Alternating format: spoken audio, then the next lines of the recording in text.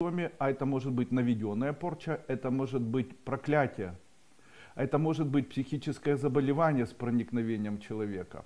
Что я вам рекомендую делать? Можно провести обряд экзорцизма. Вот, хотите, вот я сейчас его вам расскажу, как его можно сделать. Обряд экзорцизма описан в определенной книге, которая называется «Упанишады», обряды саман, и он называется, по-моему, Гуштари. И данный обряд, он действительно очень эффективный. Выполнять такой обряд необходимо исключительно на начинающуюся Луну, то есть э, когда уже Луна начинает расти. Вот рассчитать вот этот первый день после того, когда Луны нет, и после этого первая Луна или первый лунный день. На восходящую Луну делается. Что необходимо, дай Бог памяти, сейчас расскажу. Итак, необходимо приготовить специальные ингредиенты для проведения обряда, который может помочь от экзорцизма. То есть, если в нем есть психическое заболевание, без какое-нибудь и так далее, то таким обрядом можно убрать. Человек любой может провести, главное сделать правильные ингредиенты. Как они делаются?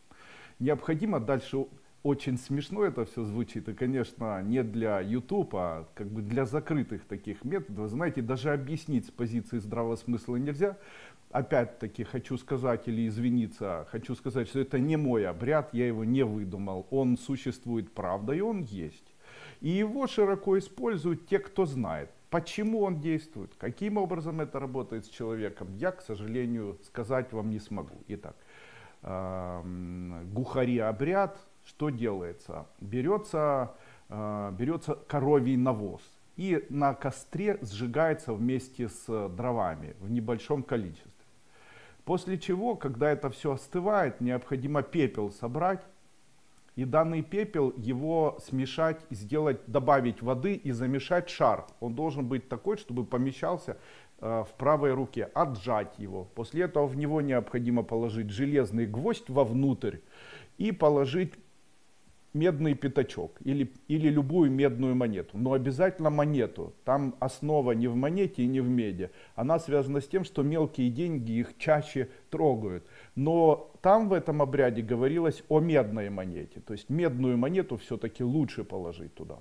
После чего, когда вы сделали из этого шарик, то ни гвоздь, ни монетка, они не должны выпадать. После этого вот это все необходимо смешать с куркумой желтого цвета. Это корень такой есть. Можно купить порошок куркумы. Сколько куркумы? Шарик должен быть, по идее, желтенький. Поняли? После чего необходимо взять э, данный шарик и 21 раз вечером где-то в 17-18 часов, 19, с 17 до 19 до 20 вечера, даже вот так скажу, перед заходом солнца, вот смотрите, только начинает вечереть, вот у нас в моем регионе сейчас темно уже становится в 6.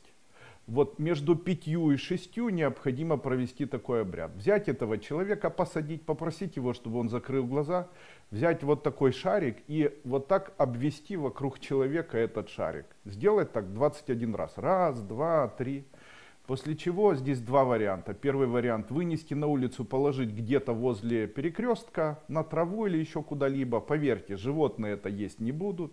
Муравьи там или какие-то мухи это растянут, там или птицы поклюют. Ни птицам, ни мухам, никому зла это не принесет. Гвоздь где-то там упадет и в дальнейшем сгниет, а пятачок, возможно, кто-то найдет. В этом ничего страшного нет. Это никуда не передастся, никаким образом не создаст никаких плохих условий для человека, не является ничем плохим, и обряд имеет такой глубокий, даже эзотерический смысл. Обычно такой обряд делается двумя способами. Если тяжелое психическое заболевание, то делается 21 день подряд одним и тем же шариком, просто в него, просто в него добавляется водичка, чтобы он был мокрый в руке. Или делается один раз, 21 раз, выносится, ничего не произносится, человек должен положить где-то на перекрестке или на каком-нибудь углу, или возле угла какого-нибудь дома, так, чтобы там не ходили люди желательно.